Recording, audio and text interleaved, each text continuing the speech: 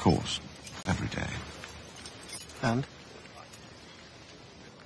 Good prisoners breed good jailers, apparently. Starks are very careful. There is a way, I think. It wasn't possible until now. What is it?